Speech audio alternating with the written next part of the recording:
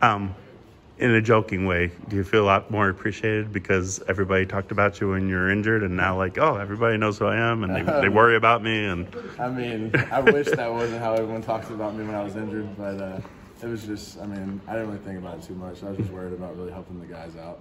Honestly, I mean, it's it stunk not being out there for two games. Obviously, I haven't missed a game due to injury, and but I just made the most of it to help out Coop and the guys that are in there, making sure they knew what was going on, and really just still living up to that C on my chest, even though I can't be out on the field. was there ways that you you could see things against, say, the Louisville game that maybe went wrong? That the fresh eyes of being on the sideline.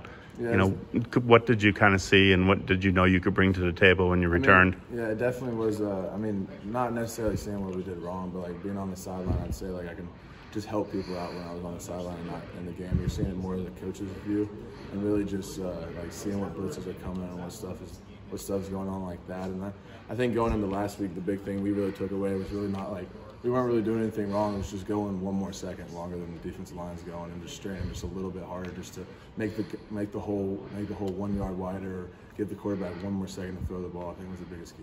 This Is a strap it up game when you see the Duke defensive tackles? Oh, I mean, definitely. They're they're a great D line. They're one of the best in the country, one of the best defense in the country.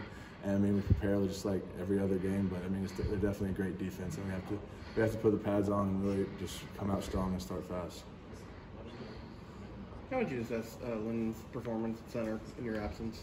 Uh, Coop's performance, I think he did really good. I mean, he stepped in there. He obviously had to step in the VMI game. He wasn't even expecting to play play center that game, and he came in and